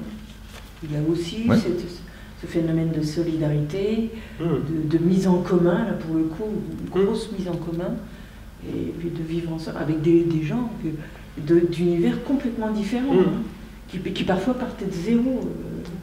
Ça, c'est une expérience, moi, je trouve excessivement intéressante. Oui, oui, c'est très inspirant. Oui, vraiment. Et, euh, juste, pour revenir sur la, la question de l'échelle, euh, il y a aussi, je pense, par rapport à la métropole, la volonté d'appartenir ou non à la métropole. Enfin, je sais pas exactement, c'est un truc que je balance un peu comme ça, mais euh, il y a quoi Il y, a, un paquet de communes dans le métropole, il n'y en, a pas, y en a pas 27, un truc comme ça, un truc énorme. Euh, 24 Ouais, un, truc, un truc, comme ça quoi. Et euh, c'est vrai que ça s'est construit la métropole pour mettre en place euh, des je sais pas, systèmes communs de collecte de déchets peut-être et tout ça à la base. Oui, ça, a démarré par ça, les déchets, les transports, ouais, transport tout. Mais euh, je suis pas sûr qu'aujourd'hui, en fait, euh, sur les 24 euh, ou 27 communes, tout le monde ait peut-être envie de participer à cette communauté-là, qui, est, qui est quand même un petit peu basée sur la ville-centre, quoi, finalement. Enfin, même mm. le nom, c'est Nantes Métropole. Enfin, mm. voilà, il y, a aussi peut-être peut laisser un peu tout ça s'auto-organiser. je sais pas, peut-être qu'au sud de la Loire, le vignoble, voilà, ils veulent faire, faire leur truc, je, je sais pas, mais. Oui, on peut, enfin, on peut débattre un peu de, ces échelles, etc. Mmh, mmh, mmh. Après, euh, quand une commune, enfin, en tout cas, dans, tel que ça s'est passé aujourd'hui, les communes ou les intercommunalités qui refusent de rentrer dans les métropoles, dans les grandes les intercommunalités des villes-centres, généralement, ce sont des territoires qui sont plus upés que la moyenne de l'agglomération, qui ne veulent pas participer aux enjeux de l'agglomération et au financement d'équipements que leurs habitants utilisent, en étant euh, majoritairement travailleurs de la ville-centre et euh, usagers des, équipements. Après, ils peuvent du coup aussi payer des tarifs plus élevés. Hein. Que on n'est pas partie de la bonne mairie ou de la bonne intercommunalité. Hein. On n'a pas le même tarif de piscine ou de, de l'école de musique. Mais, euh, voilà. Mais globalement, c'est plutôt ça le mécanisme. Voilà, c'est une forme d'autogestion qui est plutôt quand même les riches qui, se, qui restent entre eux et mm. pas des riches, les gens un peu plus riches que, euh, la moyenne d'une agglomération urbaine et, euh, et, qui se protège un peu. Voilà. donc, voilà. Après, cela étant, euh, ah, est-ce qu'il faut une, un gouvernement unique pour un ensemble urbain ou est-ce que c'est préférable de, le partager en plusieurs, euh, plusieurs entités euh?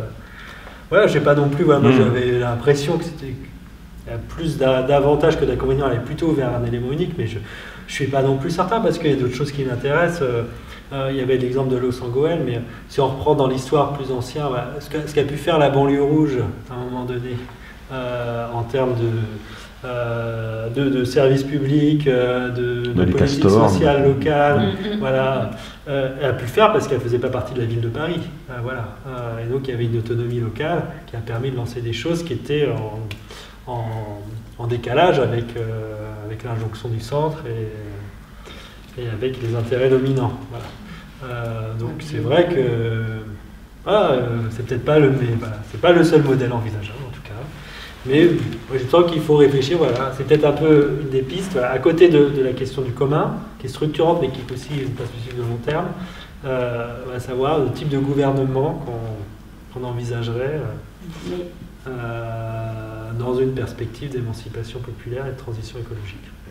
Mais peut-être aussi euh, ressolliciter ou solliciter les, les maires adjoints. Les maires, il y a des mairies annexes, il y a des oui, maires adjoints, etc. Donc tout ça, ce sont des, des acteurs locaux. Il faudrait d'ailleurs peut-être qu'une enquête intéressante, c'est de voir si ces mairies annexes euh, jouent un rôle euh, réel ou si c'est gadget. Oui, parce qu'évidemment, si on partait sur la grande ville, enfin, que, je pas comment on l'appellerait, mais disons une espèce de, de méga ville de Nantes, à, l'échelle de l'ère urbaine. Euh, combien il y a quasiment un million d'habitants aujourd'hui, 950 000 habitants. Euh, mais il faudrait évidemment un paquet de mairies annexes. Euh, voilà. Mais, est-ce que, est que ça marche bien, celle qui existe aujourd'hui? Il faut regarder là, celle de Nantes. Il faut peut-être réinvestir ces lieux-là, parce en fait, des acteurs locaux, tu, en as. Au niveau des cantons, au niveau de, des, justement des mairies annexes, mm. quartiers, etc. les Mais c'est vrai que. C'est vrai que les communes, telles que, que l'intercommunalité est en train de se structurer, notamment Nantes Métropole, qui est une intercommunalité euh, très intégrée, euh, les communes sont en train de devenir des mairies annexes. Hein. Ils vont vraiment gérer des enjeux d'hyper-proximité. Toutes les questions stratégiques remontent à Nantes Métropole. Donc la dynamique est déjà en place. Moi, ce que je propose, en gros, c'est de garder presque la structure pour en changer le cap. Euh, voilà, on pourrait se dire que c'est complètement débile, hein, ça, voilà, que ça ne peut pas marcher, qu'il faut, qu'il faut changer la structure. Moi, je propose surtout de, en fait, de rendre cette intercommunalité démocratique, parce qu'elle ne l'est pas. Voilà, c'était hmm. l'approche que, que j'ai proposée. Euh, dans ma vie au Royaume-Uni, j'avais vécu plusieurs réorganisations de, de, bon, de l'autorité locale. Voilà. Et euh, bon, ma question en fait, c'est ensuite de, ta réflexion, serait euh, euh, on a récemment vécu la réorganisation des régions par Balladur. Euh, c'était considéré par la commission Balladur, je crois. C'était ah oui, oui, mais. Par exemple. Donc, est-ce que ta proposition de, de accepter le, métropolitisation comme fait réel sur le, sur le terrain mm. et euh, des micros ou des quartiers, des niveaux d'organisation plus et, et, et vont au niveau national. C'est un propos euh, qui, qui, avance. Donc, il y a un projet de loi pour ça aussi. C'est plus plutôt une opinion personnelle? Je, je, ah pas de, ben, ce qui est dans l'air du temps, c'est de renforcer les intercommunalités, mais sous leur forme actuelle, qui est une forme qui tient à distance des démocraties locales. Ah, parce qu'en fait, les intercommunalités aujourd'hui, c'est euh, des assemblées où sont représentées donc, toutes les maires des communes et ensuite les adjoints pour les plus grosses communes, on va dire. les plus grosses communes vont envoyer plus de monde, mais au final, toutes les communes sont représentées et, euh, les grosses communes ne sont pas représentées proportionnellement. Donc ce qu'on a en fait, c'est une assemblée de territoires. Euh, et ces territoires-là, ils vont négocier entre eux euh, les projets, les politiques métropolitaines. Et, ce type de, système-là a deux inconvénients. Le premier, c'est que ces assemblées-là représentent des territoires et du coup, il n'y a pas de clivage politique qui se met en place. Et euh, on va pas, euh, on va pas discuter un projet sur une base idéologique au sens noble du terme, hein, en disant voilà, votre projet est de droite ou votre projet est de gauche, votre projet il est réac ou il est écologique, mais euh, c'est ah oui, mais nous, les communes du Sud-Ouest, on n'est pas content parce que c'est un projet pour le Nord, donc on veut la même chose au Sud, etc. Donc voilà, c'est comme ça que les débats ont lieu. On veut aussi notre point. Donc voilà, donc c'est un problème de structuration du débat, du débat politique. Et le deuxième inconvénient, c'est que les gens euh, choisissent leurs représentants dans les intercommunalités via l'élection municipale, et en fait via une élection qui débat de questions municipales. Euh, donc du coup, les gens ils font campagne sur des programmes municipaux en disant bah, la commune euh, de Trifouilly-les-Oies, voilà, c'est comme ça qu'on la voit dans le futur, et puis on fera tel et tel projet. Mais au final, ce qui va compter, c'est qu'on va envoyer le maire et quelques autres personnes à l'intercommunalité où on va négocier les grands projets qui comptent et ça n'aura pas été débattu lors de la campagne électorale. Donc tout ça fait que cet organe-là est largement euh, très peu démocratique, pour, voilà, pour, pour, pour, être assez nuancé. Euh, et ça va très très bien euh, à la fois au gouvernement national et, et aux élus locaux. Ils sont très contents de ça parce que ça permet d'avancer beaucoup de projets et, et, de dépolitiser plein de questions et d'avoir une approche hyper technique sur, sur la gestion urbaine. C'est pour ça que ma proposition, elle, peut sembler être dans l'air du temps, puisque je garde à peu près les échelles, mais euh, je renverse quand même le fonctionnement euh, du truc en le rendant démocratique. Donc ça, c'est une option. L'autre option, c'est de supprimer l'intercommunalité et de revenir aux communes, je dirais. de manière pragmatique, il y a deux options à court terme. C'est transformer l'intercommunalité en une collectivité pleinement démocratique ou la supprimer et revenir aux communes. Après, de point de vue, le problème de revenir aux communes, c'est bah, comment on s'occupe de tout ce qui a été mis en place aux échelles intercommunales. c'est vrai que rester dans le système actuel, c'est euh, se satisfaire d'un système peu démocratique. Oui, puis il y avait ce que tu disais, c'est que, par exemple, à l'échelle de Nantes, la séparation entre les communes, elle est complètement arbitraire. Hmm. Je veux dire, d'un côté d'une rue, tu es à Nantes, après tu es à Orvaux. Voilà, c'est ça. Est-ce que ça a du sens C'est pour ça que je trouve la métropole facile. Après, il y a des communes qui ont plus d'identité ou plus de, ou plus de pertinence du point de vue des, des, usages, des pratiques. C'est bien rare. Parce qu'en fait, le principe de la grande ville, c'est que c'est que, les, que les, mobilités euh, s'accroissent et euh, s'étendent à à une échelle de plus en plus grande et que, les, tissus urbains se mélangent. Voilà. Pour ça, du coup, j'allais là-dessus. Alors, que je réponds à toutes les questions. Alors, on était sur la coopération intercommunale. Quel partenaire politique je vois euh, euh, Je ne sais pas trop, euh. Je ne sais pas comment on mettrait en place ce que je viens de raconter, parce qu'en fait, ça supposerait, d'un point de vue vraiment politique, si jamais c'était porté par une liste euh, donnée, il faudrait que ce soit porté par une liste qui soit représentée dans un grand nombre de communes, bah, pour pouvoir être majoritaire ensuite à l'échelle métropolitaine. Et à l'échelle nationale. Voilà, donc ça supposerait une. En fait, oui, ça supposerait en fait qu'il y ait une, coopération nationale sur cet agenda-là. Bah et en fait, le plus efficace sera surtout de gagner des élections nationales. ah bah allons-y La loi de décentralisation. Bon, c'est pas une perspective très autogestionnaire. Hein. c'est un peu ancien monde tout ça.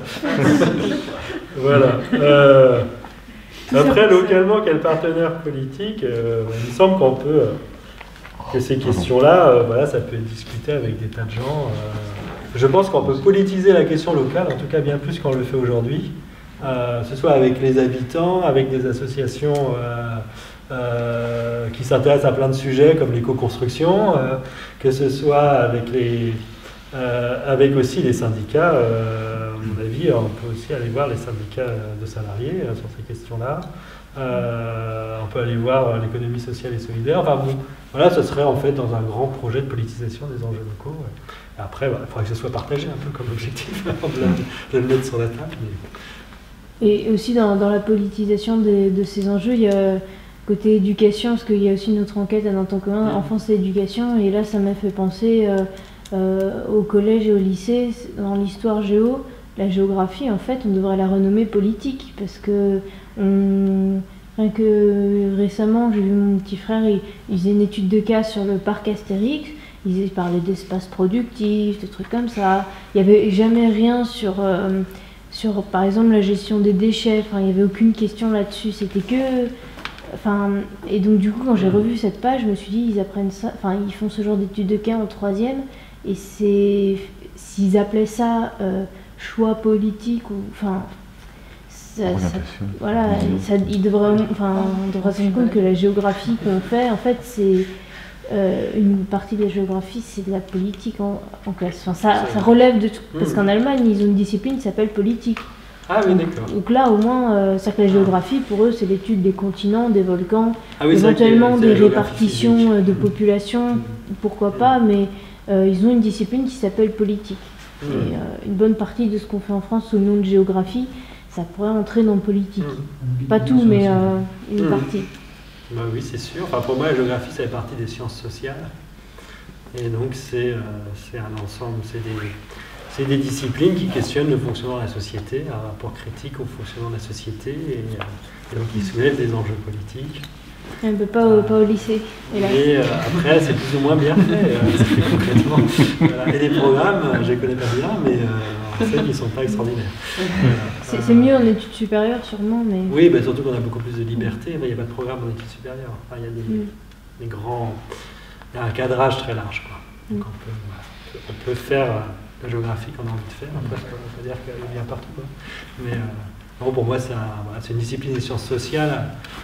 Moi, je trouve ça compliqué de faire de la géographie tout seul. Hein. On fait de la géographie en faisant de la sociologie, de l'économie, de la science politique, euh, de l'histoire, euh, un peu de langue aussi. tout ça participe des sciences sociales de l'anthropologie aussi.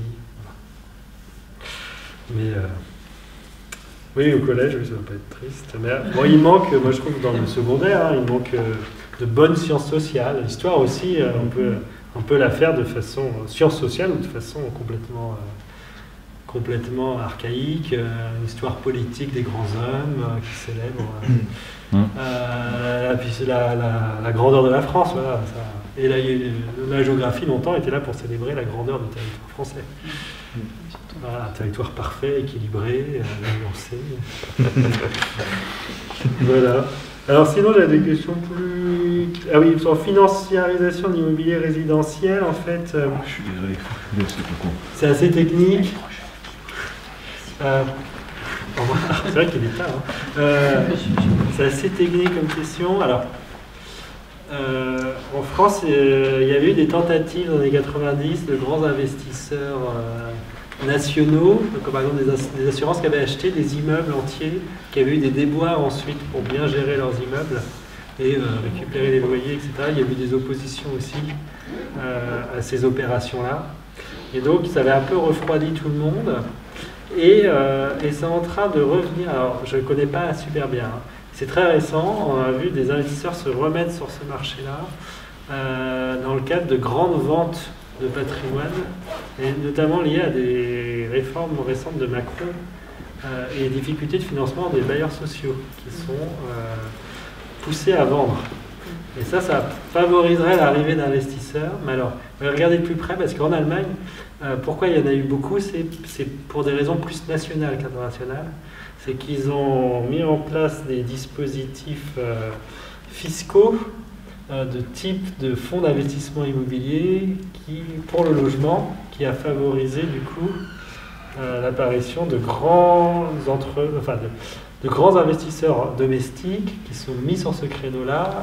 il y a eu un environnement national favorable en fait, et donc ça s'est mis en place. Et il semble qu'en France, cet environnement national se met en place.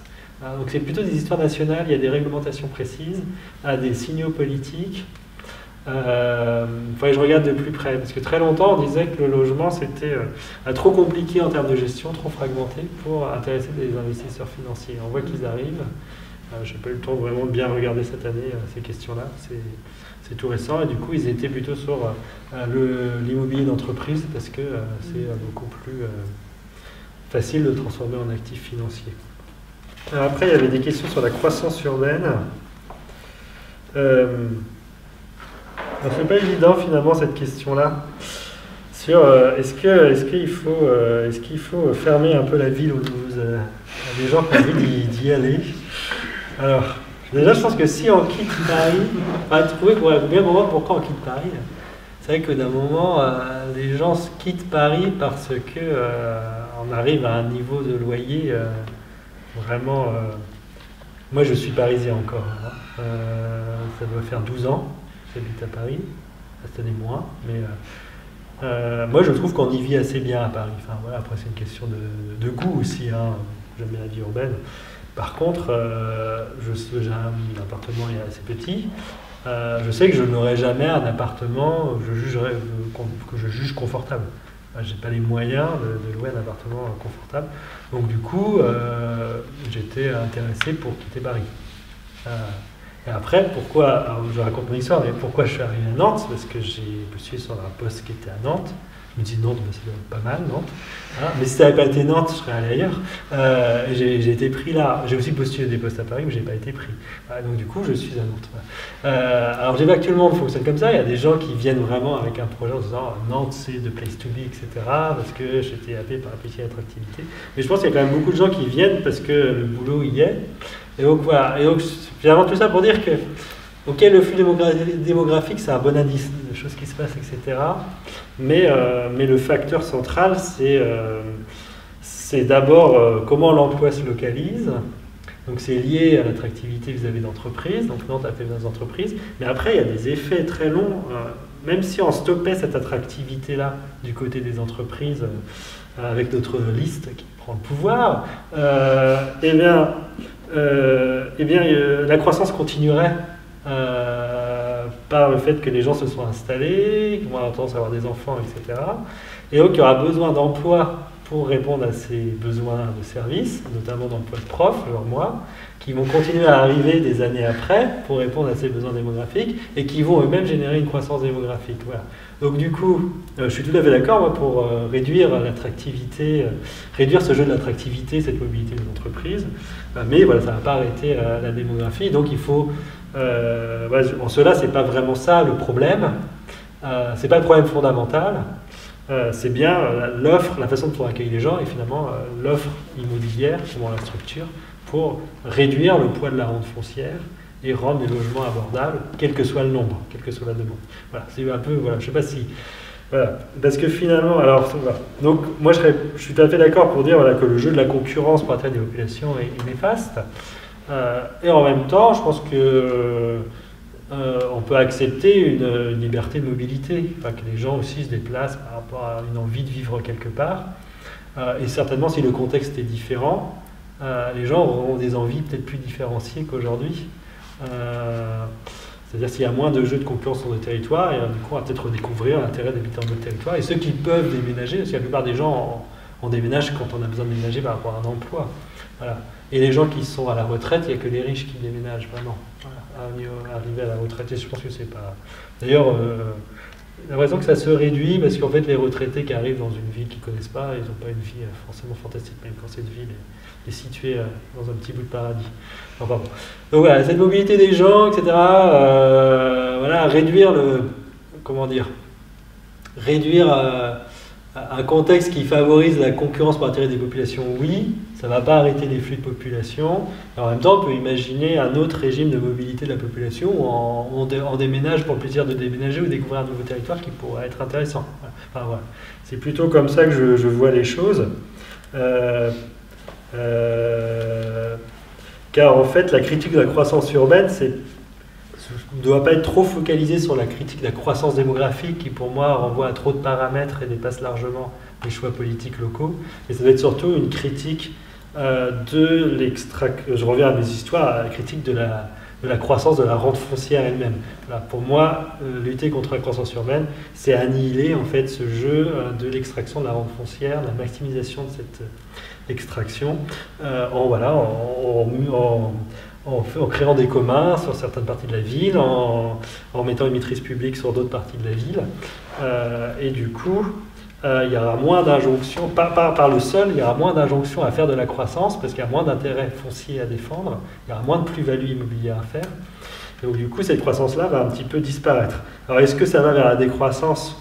Euh, Forcément, mais en tout cas, à l'échelle locale, pour moi, on ne pas.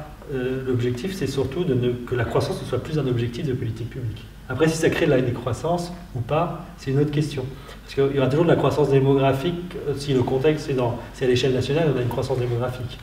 Et avoir une décroissance démographique, ça peut être euh, un peu problématique. Parfois, c'est pas forcément. Ça, amène des aspects positifs, mais ça peut amener aussi beaucoup d'aspects négatifs.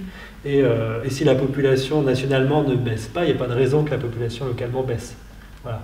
Donc ça ne peut pas être un objectif de faire baisser sa population. Je ne le comprendrai pas, parce que où vont les gens si on fait baisser la population? Donc pour moi, la population, on la prend telle qu'elle l'est un peu. Euh, et puis s'il y en a qui bougent dans ce là bon voilà, pas forcément ça le problème. C'était un peu le désaxement. Je ne sais pas si je me suis fait bien comprendre. Voilà. Donc finalement, la critique de la croissance, c'est surtout la critique euh, de la croissance des valeurs immobilières et des intérêts qu'il apporte.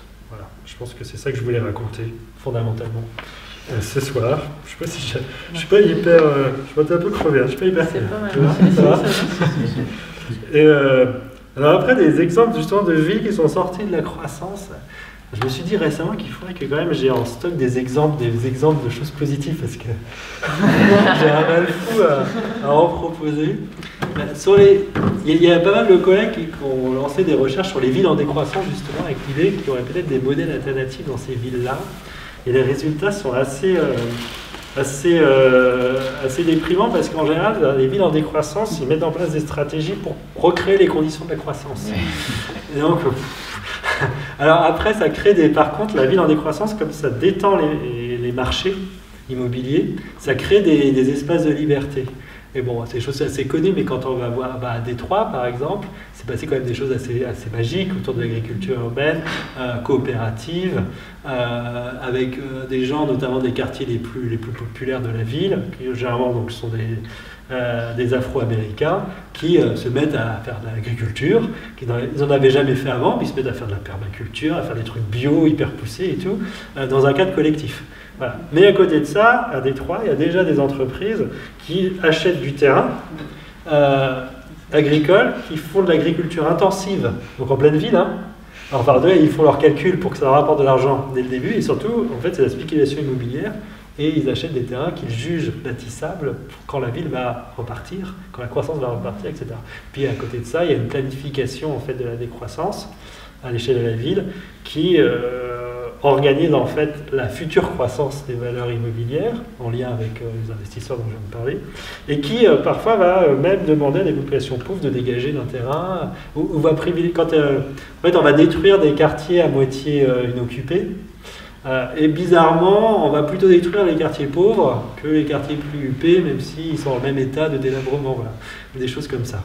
Donc voilà, on voit plein de choses négatives aussi. Donc c'est loin d'être un modèle, mais il y a des espaces de liberté qui sont intéressants à analyser. Après, peut-être des, modèles. Ben, L'once Goël, on en parlait beaucoup. Il faudra aller voir ce que ça donne. Je sais qu'il y a 10 ans, euh, euh, donc il y avait vraiment des choses intéressantes qui avaient été lancées. Il faut avoir aussi un retour critique parce que je sais qu'il y en a qui disent qui ont un son de cloche un peu différent sur l'ensemble Goël, parce que peut-être qu'il faut un renouveler aussi, hein, ce qui s'est passé là-bas. Je ne me prononcerai pas, je ne connais pas assez bien.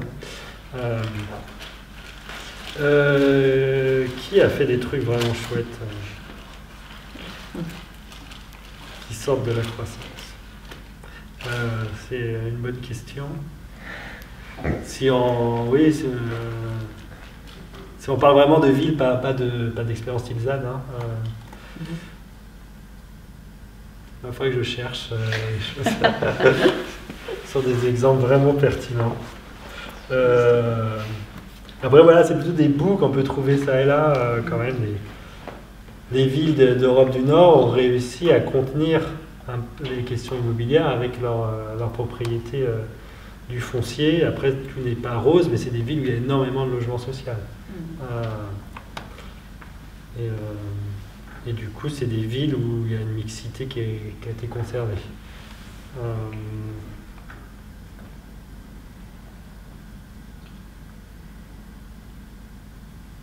Mais je vais, je vais bosser ça parce que c'est pas possible d'arriver qu'avec un, dispositif critique et de ne pas proposer euh, des modèles, voilà, de droit un peu chouette.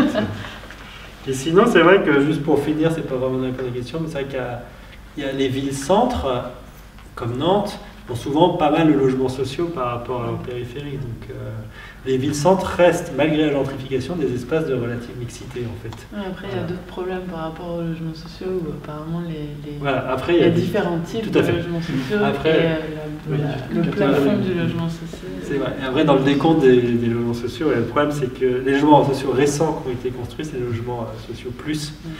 Euh, donc, en fait, le PLAI, c'est le plus social et c'est ce qui est le moins produit, alors que les demandes sont très fortes. Et euh, la ville de Paris a construit beaucoup de logements sociaux depuis de la Noé, mais essentiellement des logements sociaux supérieurs. Donc, ça permet, on va dire, de garder des populations à revenus moyens qui pourraient avoir des difficultés à se loger, hein. mais ça ça ne répond pas aux enjeux de logement les plus cruciaux, qui sont vraiment des gens les, les moins bien payés, qui, euh, euh, voilà, qui peuvent se débrouiller, qui sont très nombreux. Voilà, voilà, les classes populaires n'ont pas du tout disparu, c'est encore à peu près 50% de la population française qui est ouvrière ou employée. Donc, euh, voilà. Et les villes-centres répondent de moins en moins à ces populations-là. Après, les quartiers de logements sociaux mais, et très sociaux restent plutôt dans les villes-centres, il y a une permanence. Il faut que les quartiers les plus populaires restent dans les villes-centres ou, pour les plus grandes villes, comme Lyon, Paris et peut-être Lille, dans sa banlieue proche. Voilà. Pour Paris, pour la région parisienne, les, les communes les plus populaires, en 2018, pour avoir lu un article très récent là, qui reprenait des données récentes, ça reste euh, Saint-Denis, La Courneuve, euh, Seine-Saint-Denis, mais proche de Paris. C'est pas euh, le périurbain hyper lointain qui est aussi qui est populaire, mais moins, qui n'est pas très populaire comme le reste, la banlieue, une partie de la banlieue proche. Et pour ça, il y a une permanence vraiment forte. Voilà, donc ça limite. euh, C'est vrai que sur la gentrification, malgré la politique de la ville, la gentrification des grands quartiers de logements sociaux reste mesurée. Donc, c'est une certaine mesure- dans une certaine façon, ça prouve aussi l'importance du, du système de logement social, enfin, sa force. Elle continue de concentrer les plus pauvres, mais c'est parce qu'elle répond aux, aux besoins de cette population-là, des logements euh, que, que personne d'autre ne propose, et c'est pas le- la maison dans périurbain qui permet de, de loger ces gens-là. Voilà. Merci beaucoup. Merci. Moi, je, mais peut-être c'était plus en réponse par rapport à quasiment ce que tu avais dit au départ. Je me disais, mais c'est parce que c'est la première fois que je viens sur euh, en disant euh, euh, ménager la ville, et, et, et je ne l'ai pas dit tout à l'heure parce que c'était pas une question. Mais je me disais, euh, dans le tableau qui était fait, je me, euh, et c'était peut-être du même ordre que les histoires de nostalgie là, je me dis que euh, je, je pense des fois on a tendance à noircir, au sens où euh, euh, ça c'est les politiques publiques qui sont orientées, mais moi je trouve qu'on aurait vachement intérêt à nous aussi faire une vraie cartographie de, en pratique, c'est quoi leurs objectifs et c'est quoi l'impact. Parce que par exemple, sur tout le travail de développement autour de FEDO, je suis pas vraiment sûr que maintenant les populations qui se retrouvent là soient exactement ce que euh, notre métropole avait visé au départ. quoi. Je, je, je, je pense que quelque part, il y a quelqu'un dans un bureau qui doit se dire Ah, on a foiré quelque chose, quoi.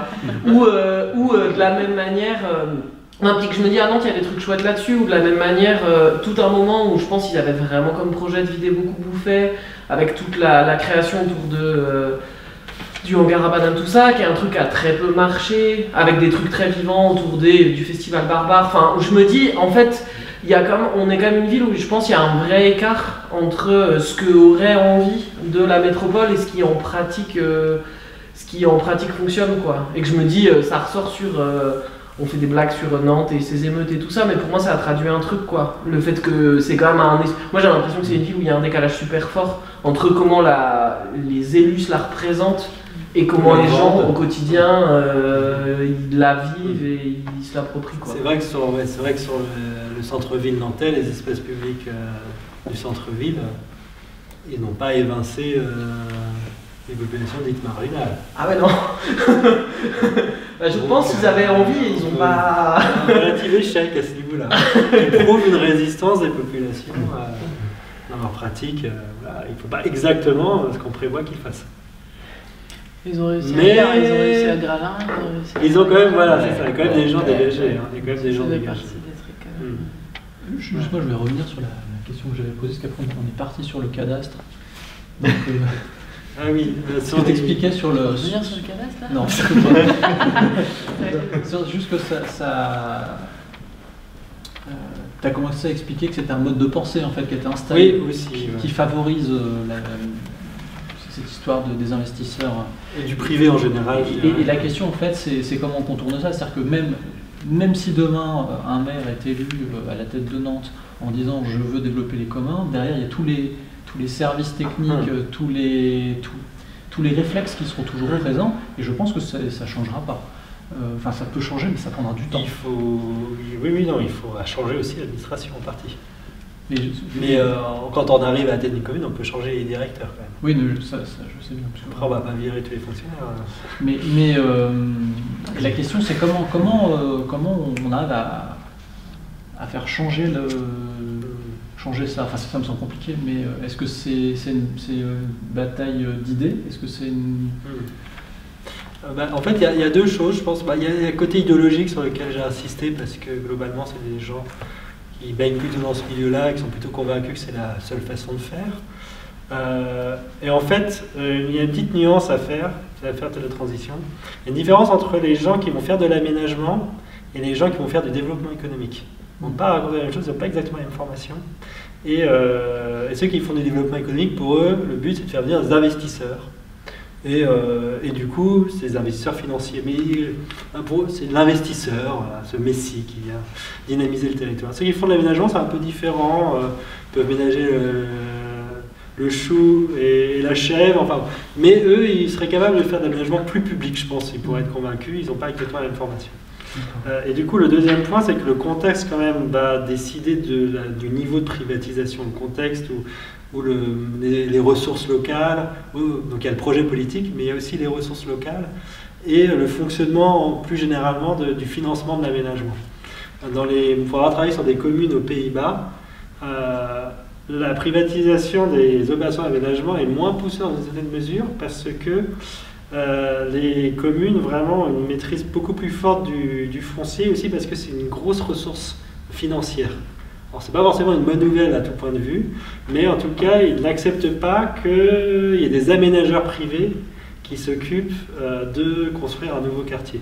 Ils veulent garder l'aménagement vraiment propre et ils ne confient même pas à une entreprise public qui serait l'aménageur, ils gardent dans la municipalité même, dans les services de la municipalité. Parce que c'est jugé très stratégique, source de revenus forte. Par contre, ça peut les pousser à augmenter les prix euh, euh, s'ils veulent gagner plus d'argent euh, pour des questions budgétaires. Voilà.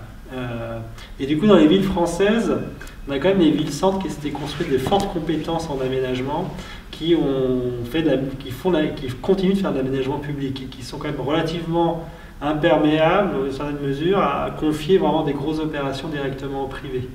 Euh, c'est plus ou moins vrai parce qu'on voit de plus en plus de ce qu'on appelle les macro-lots.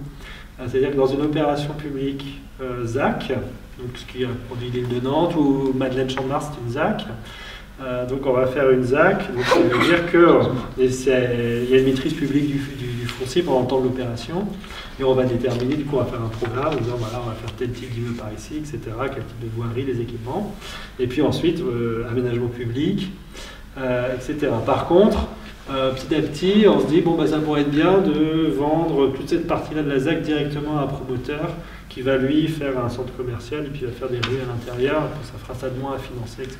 Donc voilà, ça c'est les tendances, mais globalement, l'aménagement reste à peu près public, puis ensuite on voir les parcelles aux promoteurs privés. Donc il y a quand même une maîtrise publique euh, des équipements, des choses comme ça, d'espaces publics qui restent à peu près définis par le, par le public. Par contre, dans des communes avec euh, moins de compétences moins d'historique sur l'aménagement, des communes plus petites de banlieue souvent, ou, carrément de périurbains qui peuvent faire de la zone d'activité, euh, sans parler des lotissements pavillonnaires, bah là c'est des communes qui n'ont pas les moyens de faire de façon de, de l'aménagement.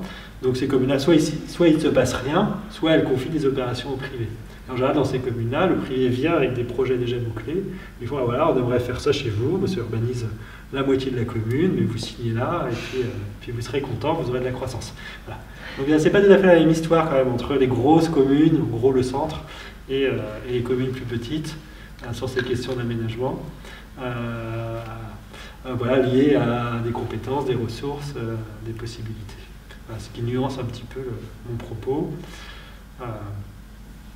Après, en fait, la maîtrise publique de l'aménagement n'empêche pas cette financiarisation des immeubles eux-mêmes, et puis il n'y a pas vraiment de, distance des élus et des techniciens sur cette question-là. Où ils estiment que voilà, c'est comme ça, c'est le marché. Après, la, difficulté, le danger aujourd'hui, c'est qu'avec l'affaiblissement des ressources des collectivités, moins de dotation, euh, bah, en fait, moins d'argent en général, ça peut créer le contexte favorable à confier de plus en plus la totalité de l'opération à du privé. C'est-à-dire tout l'aménagement d'un quartier, le Yellow Park, c'était ça hein, qui était dans les tuyaux. C'était un, truc en rupture avec ce qui se fait à Nantes. Hein. C'était vraiment un quartier euh, entièrement aménagé par, par du privé.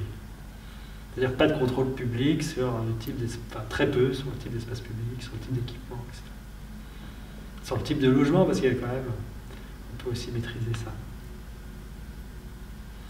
Voilà, il y a des communes qui, euh, en banlieue parisienne, euh, peut-être ailleurs aussi, à l'époque c'était beaucoup Saint-Ouen par exemple, qui, quand elle vendait des parcelles à des promoteurs immobiliers, négociait avec eux un prix plafond pour limiter le prix. Vous pouvez faire une opération chez nous, mais c'est pas plus de 3500 euros le mètre carré, des trucs comme ça. Soit euh, assez nettement, enfin, assez nettement en dessous du prix de la première couronne parisienne. des trucs comme ça. Donc il y a quand même des leviers. Euh, par contre, ces communes-là n'avaient pas du tout senti euh, l'histoire du côté de l'immobilier tertiaire. Ils avaient accepté les grandes opérations des investisseurs et et la standardisation de, du locaux d'entreprise et donc euh, la standardisation du type d'entreprise dans le territoire en décalage complet avec la population locale mmh. et avec les objectifs euh, sociaux. Mais je pense que on peut convaincre des professionnels de l'intérêt de modifier le, rapport de force. Et dans les formations d'urbanisme, euh, les étudiants ont ce discours-là quand même. Donc s'ils trouvent ça valable, euh, en tant que professionnel, euh, je pense qu'ils pourraient l'appliquer. Mais ce pas les gens les plus forts dans les collectivités locales. Voilà. Je sais pas si ça répond mieux, non euh, ouais, tout à fait. Ça me fait vachement bosser. ça me fait réviser plein de trucs. Un dernier. Non, ça va? Ça va? Bon, bah, merci beaucoup. C'était très chouette. Ouais, très intéressant. Merci bien. Merci à vous. Belle question. Belle réponse.